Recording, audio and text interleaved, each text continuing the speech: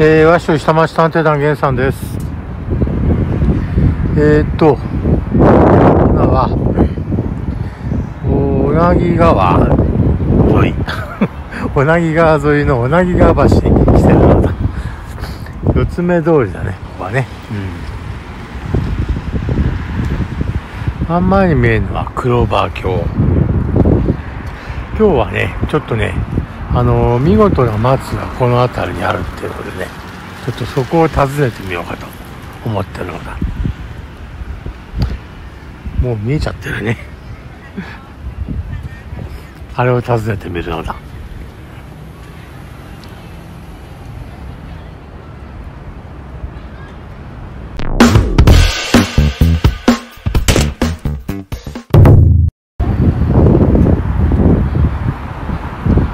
えっ、ー、とね江戸時代徳川家光の時代この辺にあるお屋敷があってこのお屋敷の松がねあのー、非常に枝ぶりが良くてそれで家光さんも絶賛したということらしい。でその松がねあの家光さんが言ったことによって有名になって浮世絵とかに書かれたりいろんなとこであのいろんな人に、えーと、通されるようになってるわね。でそれが五本松っていう松なの。松が5本あったんだね。あら、なんだろう。忘れ物かい。見事な。見事見事な。ね、うん、アーツなんだけど。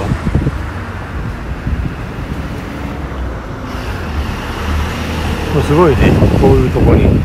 まあ今でも歩道になってアスファルトになってるとはいえちゃんと場所作って残してるからね。うん。あれ？5本？1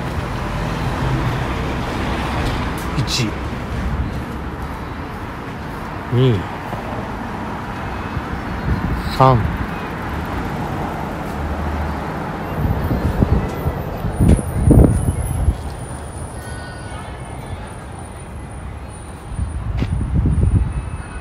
これも一応松だよね。4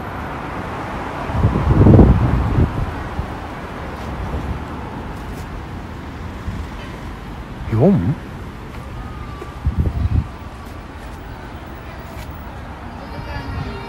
五本松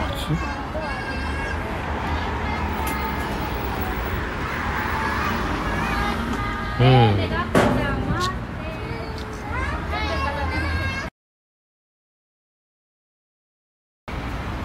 なるほど。